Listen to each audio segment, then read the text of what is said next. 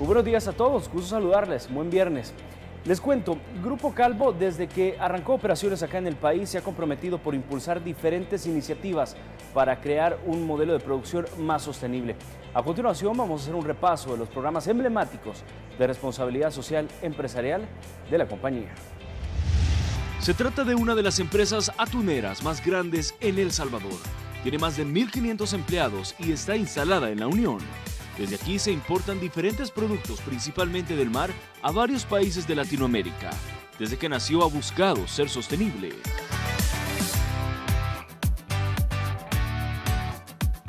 Alguien que ha dado seguimiento a sus programas de responsabilidad social empresarial es Boris Quintanilla, director país de Grupo Calvo para Centroamérica y el Caribe, quien desde su escritorio busca crear más políticas para que el negocio sea sostenible, amigable con el medio ambiente y su entorno. Para nosotros es bien sencillo, sin responsabilidad social, sin sostenibilidad, nuestro negocio está condenado a desaparecer. Boris nos cuenta que la RS de Calvo va inspirada en las personas, el medio ambiente y seguridad, implicación del territorio, innovación, suministros sostenibles y una alimentación saludable. Uno de sus proyectos fuertes es el apoyo que dan a la Escuela de Fútbol Luis Calvo Sanz, la cual beneficia alrededor de 3.500 niños de la Unión y Conchagua. Lo que estamos buscando es, eh, a través de la formación deportiva, intentar que estos niños se alejen de la violencia que tengan una convivencia en paz. Grupo Calvo también trabaja para que sus proveedores cumplan con los mayores estándares de calidad, entre ellos cumplir y velar por los derechos de sus trabajadores, así como la sostenibilidad de los procesos. ¿Cuál es el objetivo? Que nosotros no podamos tener proveedores o adquirir insumos de proveedores que no cumplan con las normas básicas de respeto de los derechos laborales y derechos humanos. Boris nos cuenta además que la compañía, que por cierto está por lanzar su programa de voluntariado, diseñó y construyó una planta de tratamiento de desechos. Lo que busca es no contaminar los océanos.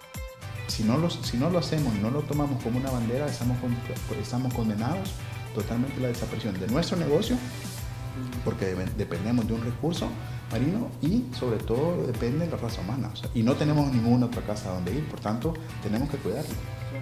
A ver, pero ¿qué hacen con estas latas? Es decir, acá es donde se guarda el producto ya terminado y, se vende en las tiendas, en los supermercados, pero al final esto se tira al mar o hay alguna empresa dedicada específicamente eh, a la finalidad de estas latas, a los tratamientos de estas latas.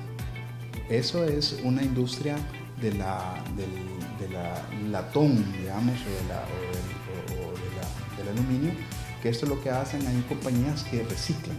O sea, eso se recoge y vuelven a reciclar para, la, para nuevamente la fabricación de latas. Calvo prefiere no hablar de inversión en dinero, pues según ellos opaca las buenas prácticas a la luz pública. Sin embargo, estima que más de medio millón de dólares anuales destina la compañía multinacional para financiar los programas de RSE. Porque al final creemos que eso desvirtúa realmente la voluntariedad con lo cual nosotros hacemos nuestros proyectos de responsabilidad social.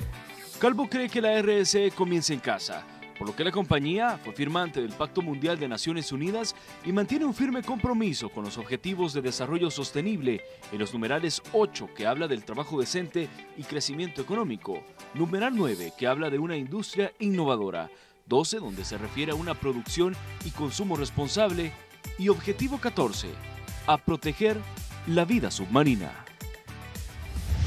Y vamos a revisar algunos pilares o ejes en los que trabaja Grupo Calvo en cuanto a sus buenos programas de responsabilidad social. Recordemos que esta compañía arrancó operaciones allá en el 2003. Sus buenas prácticas se enfocan en seis ejes. Personas, medio ambiente y seguridad, implicación en el territorio, innovación, suministro sostenible y por último, alimentación saludable. Recordemos, son más de medio millón de dólares que invierte esta compañía, la que por cierto genera más de 1.500 empleos, principalmente en su planta de producción instalada en la Unión y donde exportan el 75% de su producción al mercado centroamericano, europeo, Estados Unidos, Canadá y algunos países de Sudamérica. Bueno, pero Grupo Calvo también trabaja en el área social y esto lo hace a través de la educación por lo que en el 2017 inauguraron junto al Museo Marín la exhibición El Barco, que busca promover los derechos de la infancia, sobre todo la de la alimentación saludable. Aquí construyeron la réplica casi exacta de un barco de verdad, donde los visitantes aprenden sobre la evolución histórica de los barcos y la navegación, valor nutricional del pescado, tipo de pesca, que por cierto puede ser deportiva, comercial, industrial y de supervivencia, así como respetar el medio ambiente, los océanos, a través de las buenas prácticas y la tecnología. Y a continuación revisemos qué hacen las empresas y por supuesto los gobiernos en cuanto a buenas prácticas. Comenzamos hablando de H&M que lanzó su nueva colección en España inspirada y creada con desechos plásticos marinos, así como lo escucha, plásticos marinos. Se trata de la colección Cozy News Exclusive Collection y que propone utilizar telas a partir de nylon recuperado en los océanos. Para hacer posible esta colección, la casa de modas se asoció con un fabricante de material sintético 100% de residuos generados. H&M pues usa materia para poder producir los vestidos de encaje sostenible de alta gama que ya están disponibles en todas las tiendas de Europa. El año pasado, esta marca dio a conocer eh, su nueva misión de sostenibilidad, que tiene que ver con recoger productos que dañen los océanos y las especies que habitan para convertirlas en unas verdaderas obras de arte. Y a continuación hablemos de políticas, porque el secretario general de Naciones Unidas, Antonio Guterres, informó que tiene la intención de convocar una cumbre de emergencia sobre el clima a inicios del próximo año para reducir la divergencia de opiniones y forjar una visión común del camino que deben seguir los países miembros para hacerle frente al cambio climático. Añadió que la ciencia ha corroborado con creces que el cambio climático es innegable que su curso es imparable y que las soluciones al problema ofrecen oportunidades inigualables.